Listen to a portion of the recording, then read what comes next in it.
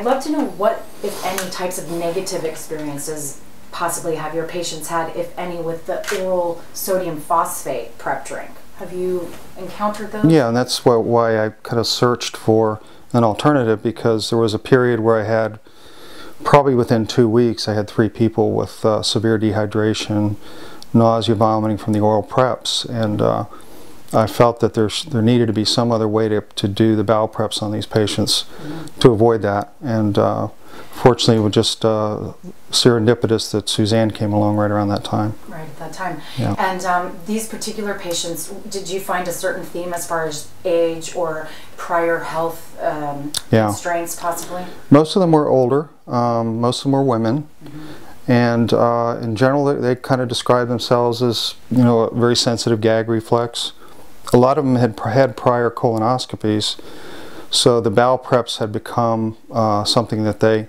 at times, had even you know not come back for their follow-up visits because of uh, of the symptoms they pretty much predicted would happen.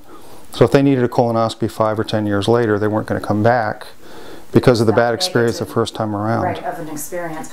Um, so the common things that you hear in those types of cases are what, as far as symptoms that they? Oh, the worst is nausea, right. and you get the calls at 10 o'clock at night. I can't finish my prep, and then you got to send them out to the drugstore, their husbands, and they got to go and purchase some other laxative. Uh, and frequently, the next day, that if they do show up, the prep is not good, or you know they come in dehydrated. They can't start the IVs. Uh, there's a lot of other issues there. Mm -hmm. They don't feel well after the the colonoscopy.